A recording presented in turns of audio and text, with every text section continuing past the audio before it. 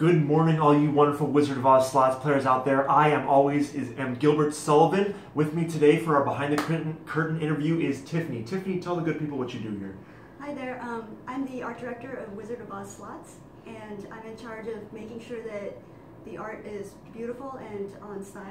We know all you guys out there love the look and feel of the games, and Tiffany is a big part of that, making sure all of the images work well together. And we are going to learn three new things about Tiffany today. Tiffany, pick three numbers between 2 and 50. Um, 2, Sure. 50, Sure. and 17. Good. All right. Uh, all right. What technology has made the most impact on your life? Oh, um, I would have to say 3D Studio Max because it to me that was my um, foot in the door for my career because Sure. I used to be a 3D animator.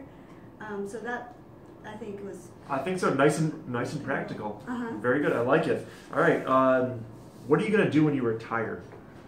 uh, I am going to go paint. I'm going to go paint landscapes. That's fantastic. Do you have anywhere? Do you have like a dream destination where you want to go paint, or is it just Um, anywhere? I think anywhere. Good. Yeah. I'm good with that. It's nice. It's nice to keep your options open. And finally, would you rather be invisible or be able to read minds? Oh, um, invisible. Yeah? I think reading minds is kind of scary.